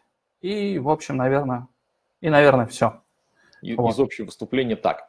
Хорошо. Да. Мы сегодня в большей степени про э, бизнес зрения клиентской базы. Давай попробуем посмотреть на э, сервис изнутри и попробовать вот пройти тот путь, когда компания не занималась раньше никаким маркетингом по своей клиентской базе, что сейчас сделать и как это может выглядеть. Мы сейчас перегружаем, пере, перезагружаемся в э, скриншаринг и вот, в сам интерфейс. Если у кого-то есть Bittrex 24, друзья, вы узнали интерфейс. Если нет, то это облачный сервис Bittrex 24 из CRM направления и конкретно в CRM, CRM маркетинг. Так, Тогда давай. А, Миш, я не вижу тебя, не вижу комментарий. Вот я вижу, собственно, только интерфейс, готов показывать, рассказывать. Ты, если что, меня направляй тогда. Да, если ты меня слышишь, то этого достаточно. Я будет. тебя слышу а, прекрасно. Все отлично. Тогда, а, пожалуйста, давай посмотрим в интерфейсе, что же нам можно сделать с базой. А, ну, во-первых, ответим на вопрос, загружается ли база внутрь CRM-системы и как, откуда угу. ее можно загрузить. Да. Ну. А, значит, друзья, смотрите, что у нас в Bittrex24 есть. Bittrex24, наша клиентская база, хранится в двух сущностях. Это сущность контакты, это, собственно, те физические лица, с которыми мы взаимодействуем, то есть это реальные люди, у которых есть э, телефоны, у которых есть почты, у которых есть там реальная фамилия, имя. Ну, здесь не совсем реальная фамилия, имя, но смысл в этом. Вот. И есть сущность компании, это, собственно, юридические лица или индивидуальные предприниматели, с которыми мы взаимодействуем. Ну, вот компании у меня нет, я здесь подготовился на контакты. Вот, то есть мы юрлица заливаем в компании, э, физические лица мы заливаем в контакты. У нас есть несколько э, возможности собрать нашу базу. То есть ну, база есть у любой компании, она хранится, она может храниться в файликах Excel, она может храниться, Миша буквально недавно говорил, да, она может просто быть у вас в почте, она может быть в админке сайта, она может быть на листочках э, менеджеров по продажам. И, в общем, мы за исключением, наверное, э, листочков, мы можем достаточно автоматизированно это дело собрать. Вот. У нас есть возможность загружать все это дело из Excel, то есть есть здесь импорт а, файлика CSV со своими настройками, то есть мы можем взять готовый файл Excel, можем его сюда загрузить. Можем сделать импорт из почтовика, можем э, сделать это через интеграцию с... У нас здесь есть так, нет у нас здесь, да? А, миграция из других CRM-систем. У нас здесь есть э, различные приложения, которые позволяют переехать из другой CRM или из другой базы. Э, и этих приложений, насколько я знаю, Миш, должно стать в ближайшее время больше.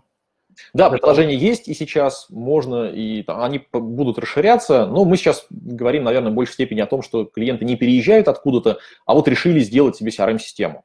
Ну, то есть можно и переехать, да, можно из Excel загрузить. Здесь вроде бы все понятно.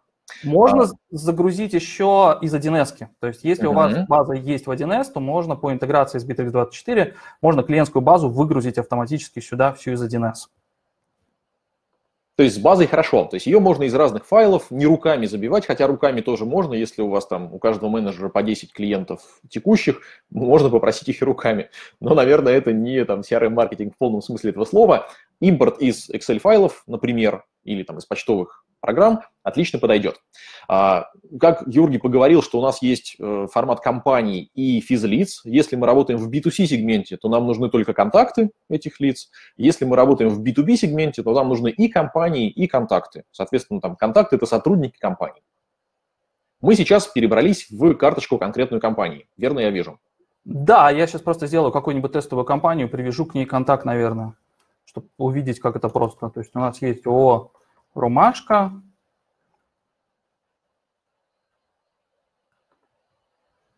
И вот мы привязали к ООО «Ромашка» нашего контакт, наше контактное лицо Анну Пирогову. Да? Вот, соответственно, у нас есть связанные сущности. У нас есть наша компания, вот здесь видно компания, да, у нас есть Анна Пирогова, это наш контакт в этой компании. Таких контактных лиц может много быть, потому что вы можете взаимодействовать с там с бухгалтерией, вы можете взаимодействовать с производством, с отделом продаж, и у вас может быть в одной компании много контактных лиц.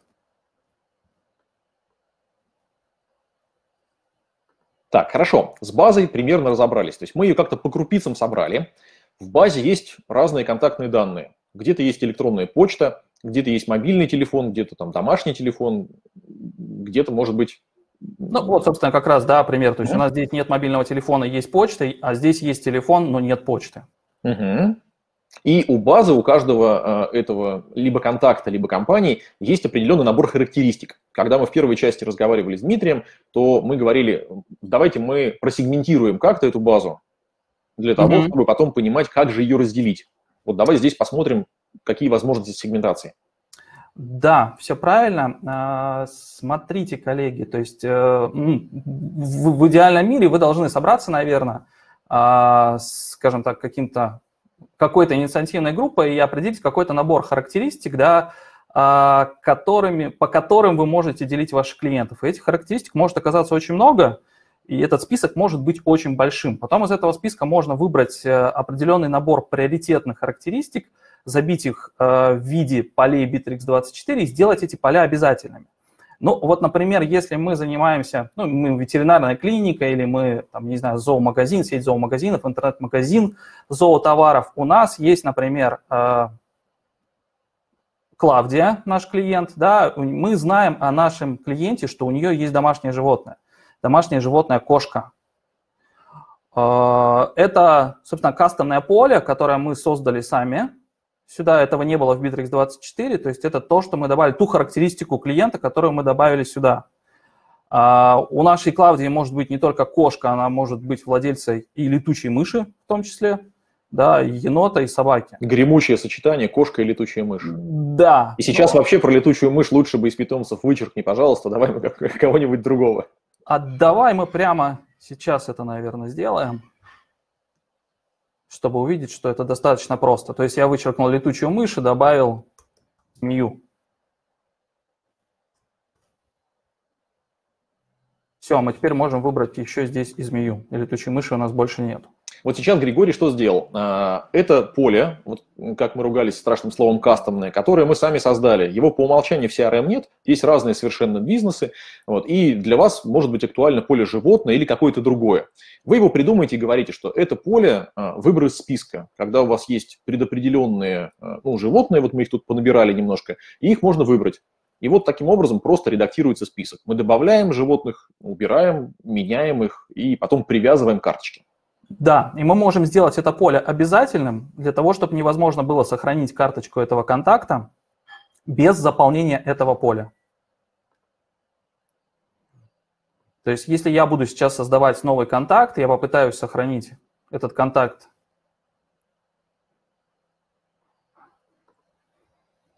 а, Значит, для чего мы это делаем? Когда, а, для того, чтобы у нас по каждому клиенту был такой признак проставлен. Если мы не понимаем, кто у нас, какой зверь у клиента живет, то нам тяжело с ним общаться, тяжело сегментировать. Да, ну и... вот, собственно, он мне не дает сейчас сохранить карточку контакта, потому что у меня не заполнено обязательное поле. Я да, если, если у нас по условному скрипту у там, нас или наших коллег есть вопрос, какое животное у вас есть, его нужно обязательно задать, чтобы получить ответ – и такую карточку сохранить. Это может быть обязательным на входе, то есть на, на, при создании карточки, либо обязательным на каком-то этапе сделки. Например. Это если мы говорим про обязательные поля уже в сделках. Да, да, да, да, да, да. безусловно. А, так, собственно, мы собрали базу, мы набрали какое-то количество э, критериев, по которым можем сегментировать наших клиентов, и дальше, в принципе, мы можем приступать к созданию этих сегментов. Да, Миш? Да, я думаю, что мы теперь, конечно, идем в сегменты, и у нас теперь есть уже признаки, по которым мы можем сегментировать. Мы можем посмотреть, как эта сегментация вообще происходит, что это. А, на самом деле хотел еще буквально два слова сказать. То есть, э, если мы говорим про CRM-маркетинг в Bittrex24, можно, в принципе, условно разделить это на, скажем так, две вещи, на два таких блока. Да? Есть, э, собственно, инструменты, собранные в разделе CRM-маркетинг, и эти инструменты, они сводятся к рассылкам, когда мы взаимодействуем с нашей целевой аудиторией массово, да, то есть мы на какой-то сегмент э, отправляем э, наши сообщения. Или мы таргетируем рекламу да, на какой-то сегмент, то есть это массовое взаимодействие. И попозже еще, там, после того, как сейчас мы рассмотрим этот момент, еще есть возможность э, точечно взаимодействовать. Это и транзакционные сообщения, и какие-то разовые сообщения, которые мы можем по каким-то сценариям отправлять клиентов через роботов Bittrex24. Так, мы переходим тогда в раздел «Сегменты». Угу. То есть с чего мы все это дело начинаем? А начинаем мы с добавления сегмента. А, по сути, это фильтр. Да? То есть мы здесь задаем определенные критерии поиска по нашей базе. А, фильтровать и искать мы можем абсолютно по всем полям, которые у нас есть, которые мы придумали. То есть, например, есть у нас, э, где у нас было поле, питомец в сущности контакт. Мы выбираем это поле питомец в сущности контакт и хотим найти все контакты, у которых э, есть кошка. Мы нажимаем «Найти», и мы видим, смотрите, э, видим размер сегмента. У нас есть э, 7 имейлов, да, в 7 контактах есть имейлы в 8 контактах есть телефоны, а всего у нас 9 контактов. И мы можем посмотреть вот эту самую базу, на которую мы... То есть у нас есть ООО «Ромашка», у которой есть клиент э, с кошкой, да, но у нее не заполнено сейчас э, ни email, ни телефон. И вот наши контактные лица, наши контакты, у которых, ну, у кого-то что-то заполнено, а вот у Ольги вообще ничего не заполнено. Вот он размер нашей базы и мы понимаем, насколько почт мы можем отправить, например, на сколько телефонов можем отправить смс. -ку. Дальше мы сохраняем этот сегмент. Владельцы кошек. Этот сегмент динамический. Что это значит? То есть, э, если у нас в контактную базу нашу э, будут добавляться новые контакты с, со свойством Э, в поле э, животное кошка, то они будут сюда прибавляться в этот сегмент. То есть не надо заново его будет формировать. То есть он Точно накопительный, так? если я через там, два месяца захожу в сегмент, то я вижу, что там не 9 контактов, как я вначале сделал, а там уже 50, потому что они сами добавлены, и сегмент сам обновляется. Да, абсолютно правильно. Я не знаю, наверное, смысла нет тратить время делать еще один сегмент. Я думаю, что логика, наверное, понятна. Нет, принцип совершенно понятен, кажется, что единственное, что открой, пожалуйста, еще раз э, сегмент, например, угу. владельцев кошек. Можем посмотреть, что там мы можем выбирать не только э, из контактов, но и, например, из лидов. У нас есть там лиды, которые не обработаны еще, э, сваливаются к нам. И если там вдруг тоже в этом лиде указана кошка, Например, мы понимаем, что эту форму сайта заполнили на той странице, э, где говорят про кошек и котов, что если у вас есть, пожалуйста, заполните. И мы точно так же можем добавлять в эту базу не только контакты существующие уже, ну и лиды, например. Да, и точно так же мы можем искать и по сделкам. А, Дмитрий, когда рассказывал про сегментацию, он рассказывал про крупные сегменты, да, те, например, кто у нас уже покупал или те, кто отказались от покупки. И здесь мы можем также сегментировать их, например, по состоянию сделки. То есть провал – это все наши неуспешные сделки. А успех – это все наши успешные сделки. Там, в работе – это все э, сделки, которые сейчас есть в работе. То есть можем сегментировать и так. Ну, как я и сказал, в общем, мы по любым сущностям и по любым значениям полей можем э, отфильтровать нашу аудиторию и собрать сегмент. Раскрыл, Маш, Миш, да? Кажется, что да. То есть мы видим этот сегмент, понимаем, сколько в нем участников, и там есть, кстати, предустановленные, вот на этом экране как раз сегменты, есть предустановленные сегменты, которые уже по умолчанию мы вам предлагаем. Там забиты некоторые характеристики. А, есть сегменты, которые вы можете сами формировать. И вы, например, можете сделать там 12 сегментов под себя, чтобы каждый раз заново их не делать. Просто заходите в сегмент и коммуницируете. Тут еще Георгий затрагивал вопрос статических и динамических сегментов. Вот тот, который мы сейчас только что создали, он динамический, потому что сам увеличивается, уменьшается в зависимости от характеристик. А, и там есть динамические, например, там может быть динамические свойства. Например, совершенные покупки которые каждый раз вот разные. Есть свойство статическое, сейчас вот сам себя запутал, когда рассказывал. Статическое свойство то, которое не меняется. Ну, например, мы поделили людей на, а, по полу, на мужчин и женщин в своей базе, либо по городу. А, а можем говорить те, кто купил у нас в последний период времени, в последние там 6 месяцев. Вот это динамика, которая сама будет автоматически меняться, пополняться. Ну, а автоматически пополняются, меняются они, по сути, все, только признаки у них разные. Так, кажется, что я сам себя запутал. А мне, да, мне кажется, ты меня тоже запутал. Сейчас я еще раз попробую распутать этот маленький клубок. То есть у нас mm-hmm. может быть сегмент, в который могут попадать и уходить из него mm-hmm. пользователи. А, они привязаны, в общем, к нашей базе. А можно вообще статически полностью список загрузить. То есть если у вас есть база а, имейлов, например, или телефонов, вы ее просто можете загрузить сюда. Ну вот пример, э, познакомились в Самаре на выставке. Вот. Да, это могут быть офлайновые анкеты, это могут быть какие-то базы с выставки, это могут быть базы, которые вам передали ваши партнеры. А, их можно просто сюда выгрузить, и это будет прям совсем статический сегмент, то есть это конкретный сегмент, который вы откуда-то взяли, как база, купленная в переходе. Вроде бы сегментации понятно. Друзья, у нас есть чатик. Если мы э, вас тоже запутали, то скажите. Если все кристально понятно, то мы сейчас пойдем дальше и посмотрим, что с этими сегментами можно дальше делать. Говорят ясно, понятно, и тогда мы сформировали сегмент, что же мне дальше с ним делать. Дальше мы можем э, использовать различные инструменты CRM-маркетинга. Э, вот этот блок у нас, собственно, про рассылки. Там с самого классического начнем с email рассылки мы можем выбрать заготовленный шаблон. А, первое, что делаем, мы выбираем здесь, здесь по умолчанию стоит сегмент «Все клиенты, все лиды». То есть это мы, вообще вся база наша? Это вообще вся база наша. Да, мы выбираем мои сегменты, находим сегмент, который мы только что создали, это владельцы кошек. Вот, мы видим, что у нас 7 получателей будет в этом сегменте. И дальше, собственно, мы э, создаем шаблон письма, которое будем отправлять нашим клиентам. Вот сейчас маленький комментарий. В э, вопросиках был вопрос, можно ли по двум независимым сегментам друг от друга что-то делать. То есть можно ли их объединить в одну базу или что-то делать с ними.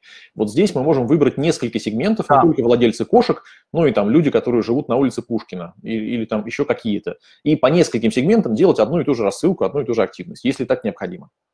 Да, более того, мы можем исключить сегменты еще, то есть мы можем, я не знаю, выбрать, например,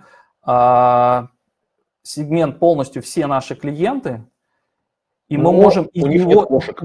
исключить кошек, да. Угу. То есть вот на кошек нам не надо отправлять. Я кошек-то выберу, обратно верну. Кошек жалко. Возвращай кошек. а, так, смотрите, друзья, здесь у нас, собственно, есть конструктор. Да, можно собирать ваше письмо из блоков, которые есть вот здесь в правой части. То есть могут быть там текстовые блоки, могут быть а, графические блоки. Мы можем поменять здесь картинку. По-моему, у меня даже есть какая-то кошка. Есть у меня кошка? У каждого есть какая-то кошка в картинках. Ну ладно. О, голодная кошка.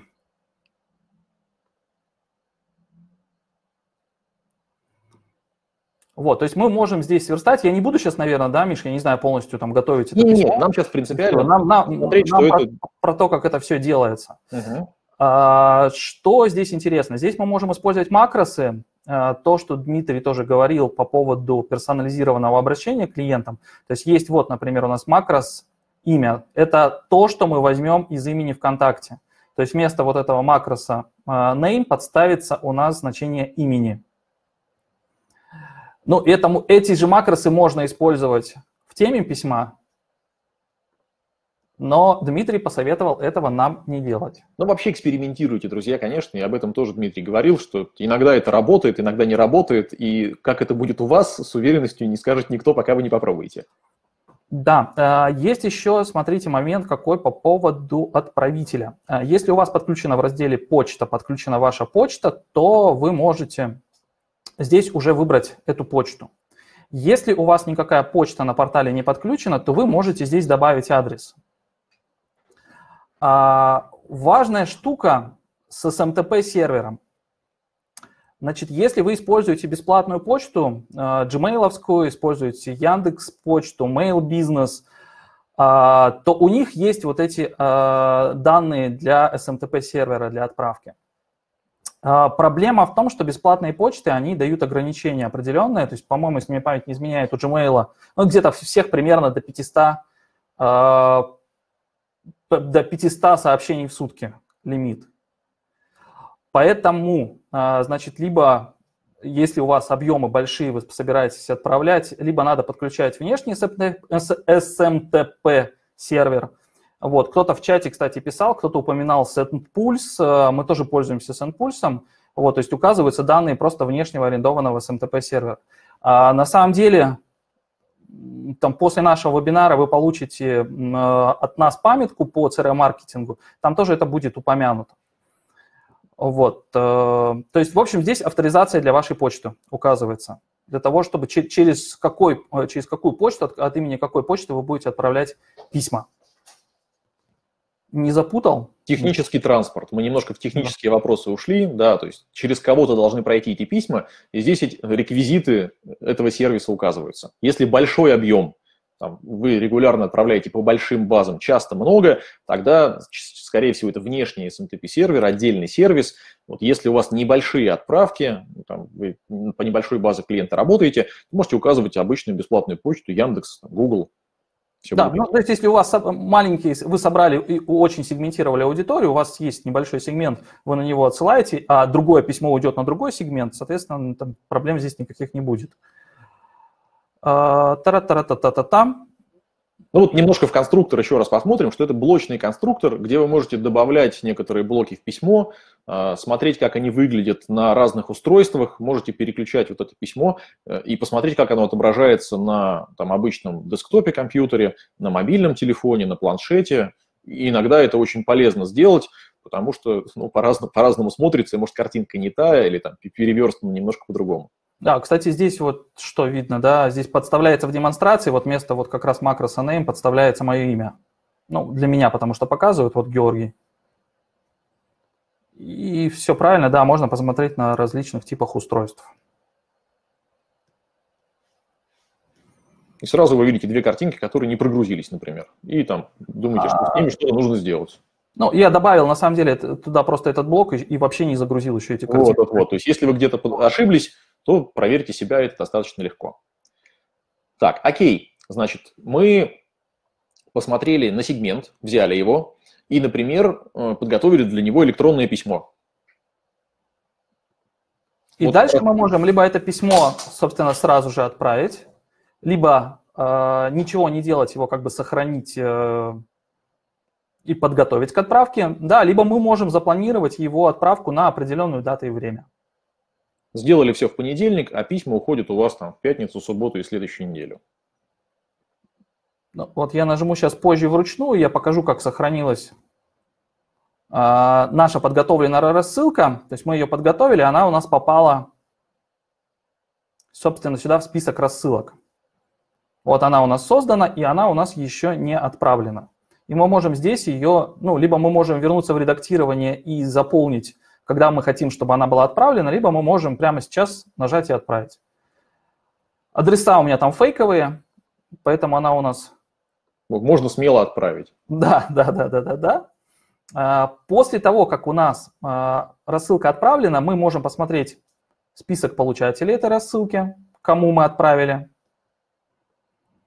и можем посмотреть статистику по просмотрам и переходам. Но сейчас вряд ли мы увидим количество переходов и просмотров, потому что адреса фейковые. Но принцип такой. Да, то есть мы видим, сколько у нас э, процентов аудитории, сколько у нас э, просмотрели наше письмо, открыли его, и сколько перешли. Ну и, соответственно, Bittrex по какой-то шкале, по каким-то критериям оценивает, насколько эффективна наша рассылка была. В зависимости от количества просмотров и переходов, естественно. Вот здесь мы говорили про сценарий, что мы после того, как отправили письмо, смотрим на реакцию. И, соответственно, мы можем запланировать не одно письмо, а, например, какую-то там серию писем. Если мы для себя решили, что вот эти люди, которые там перешли там, на сайт или кликнули по ссылке или что-то такое сделали, то дальше мы с ними тоже что-нибудь можем придумать, следующее действие совершить. Мы можем делать это через всякие сложные сценарии, через там, бизнес-процессы, на самом деле, отслеживать открываемость и кликабельность этих писем. А можем там по-простому вообще руками это все сделать. То есть мы можем здесь выгрузить сегмент э, тех, кто, например, открыл. То есть мы по фильтру можем отфильтровать, кто прочитал, то есть показать только тех, кто прочитал. Ну вот у нас сейчас таких не будет, да uh-huh. и выгрузить это в табличку и загрузить заново как новый сегмент, например. Но и есть, конечно, автоматические сценарии, которые можно настраивать. Так, а, пойдем дальше. Так, здесь был, э, сейчас я расшифрую немножко ответ про автоматику и ручную. То есть, если у вас рассылка, после которой вам необходимо дальше сделать какие-то действия, есть два варианта как это можно сделать? Руками зайти, выгрузить в Excel там, и загрузить снова, например, и выбрать этот сегмент. Либо настроить автоматику. Про автоматику мы сегодня не поговорим еще немножко. Вот сейчас, я думаю, что ближайшие минут 8-10.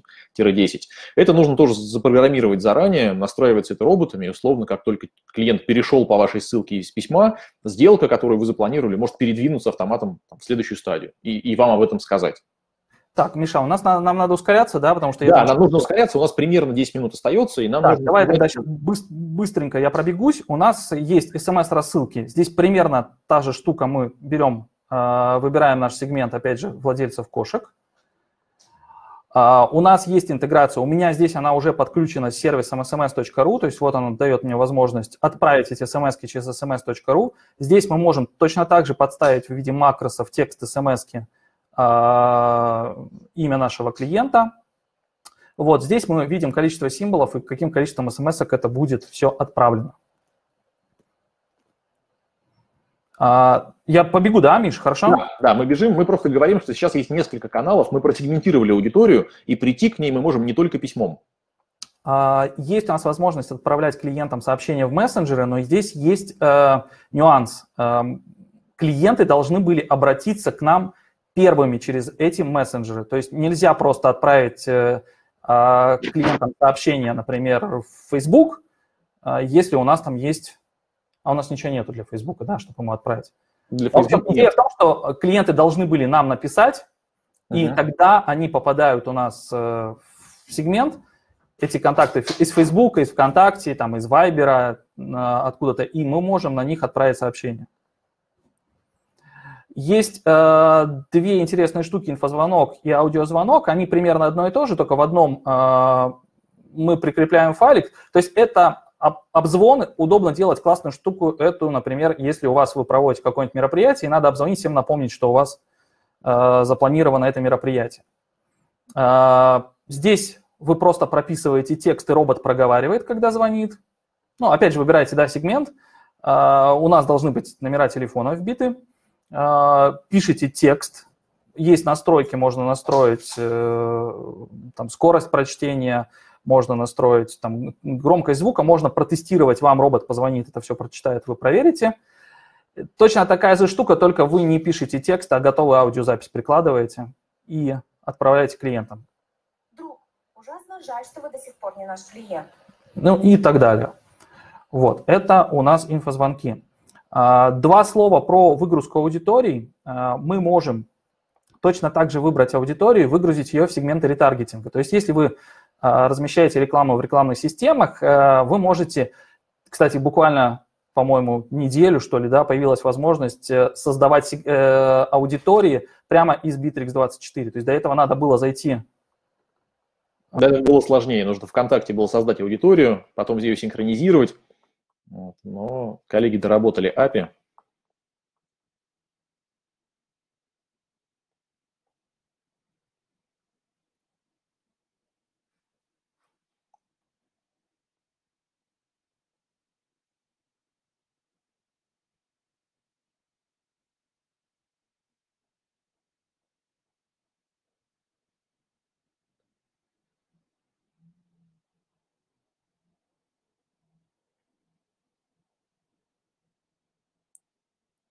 Так, Сергей.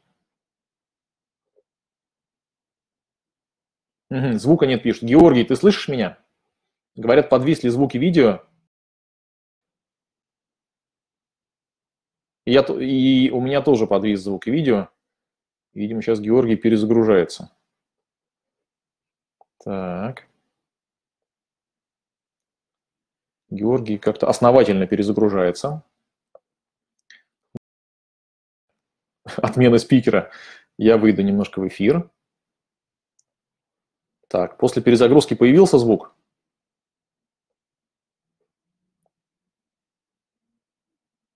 Да, звук появился, но пока есть только я, если я правильно понимаю. Так, Георгий, я думаю, что вернется к нам в ближайшее время. А я пока попробую немножко поотвечать на вопросы, которые здесь были. Так, теперь мне нужно домотать до вопросов.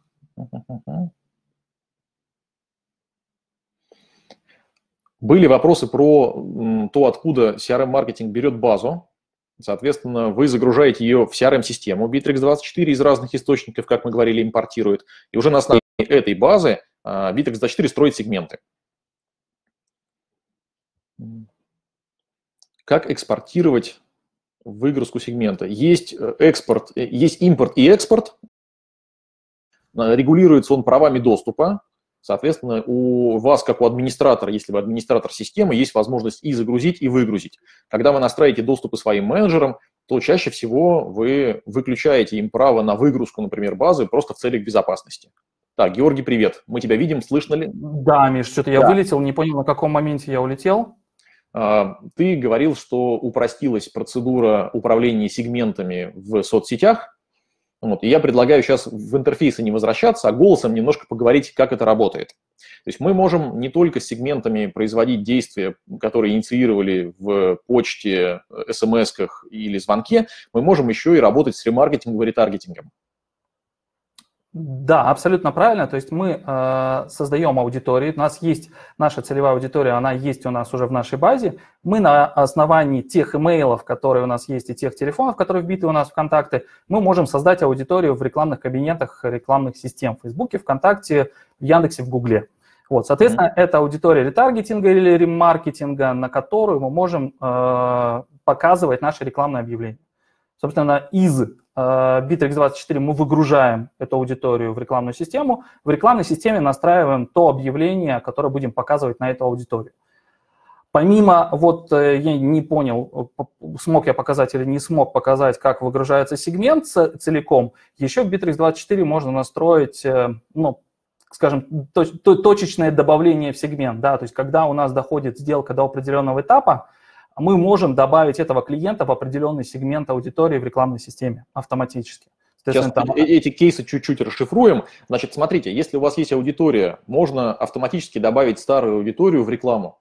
Мы говорим, можно не только позвонить им всем или отправить им всем письмо, мы можем старгетировать рекламу, например, в Фейсбуке на старую нашу аудиторию, дать им какое-то рекламное предложение. Зайти и с той части и там, звонком, например. Мы можем это э, работать на этапе сделки. Например, у нас в воронку, длинную воронку у нас B2B, и там в воронке клиент находится несколько месяцев или один месяц. Как только он попал в воронку, мы можем его погреть вот, в терминах там, продажи и рекламы, погреть рекламой через Facebook, например. Верно говорю? Да, абсолютно верно, Миша. У нас на что-то время еще остается. Я хотел, я не знаю, видно мой экран сейчас? Экран не видно, видно только тебя. Так, очень интересно. А у меня, а у меня написано, что у меня идет показ экрана. Это неправда. Э, сообщаю тебе авторитетно. Мы такого не видим. Э, самое главное, я нажимаю остановить, и у меня ничего не происходит.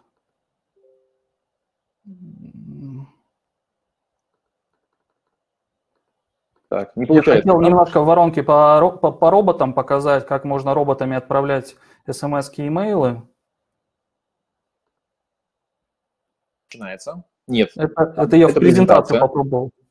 Угу. А он мне крутит и не хочет. Не желает. Не дает. Не желает жить по-другому.